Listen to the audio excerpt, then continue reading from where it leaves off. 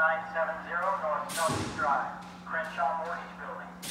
Caller reporting the subject just entered the building with a rifle, wearing what appeared to be a bulletproof vest. All units 1012 to Bravo for 1033 traffic.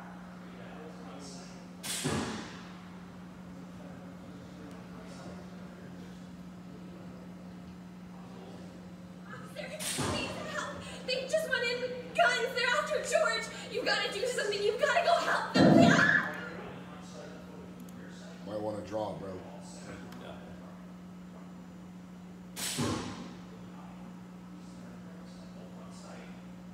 Thanks.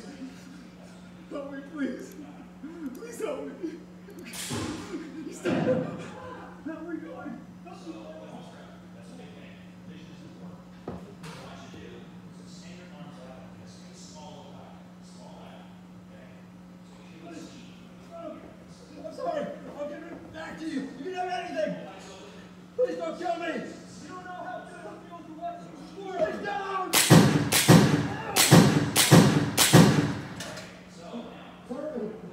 Move. Keep your head on the sweat.